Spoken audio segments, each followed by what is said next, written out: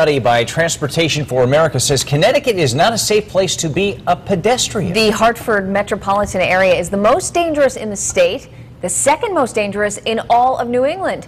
News 8's Annie Rourke on the scene in New Haven with what some are trying to do about it.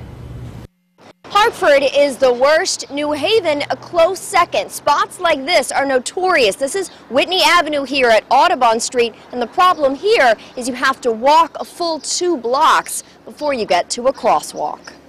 Earlier this month, anonymous advocates painted a makeshift crosswalk of their own. The city quickly washed it away, saying the spot isn't safe, but it is hard to find anyone who doesn't cross in the middle of the street here. It seems quiet, but once you step out, here go the cars. And there's no crosswalk here, and it's dangerous. Watch these two men off the curb waiting for a break. With delivery trucks often parked here, visibility isn't the best. People drive crazy here. Everyone's rushing. There's a lot of students. There are bikes, a lot of bikes. Over the last 10 years, 373 pedestrians were killed in Connecticut. Pedestrians have only a 15% chance of survival when hit by a car going 40 miles an hour. But it isn't always the driver's fault. At spots like Church and Chapel, jaywalking is rampant.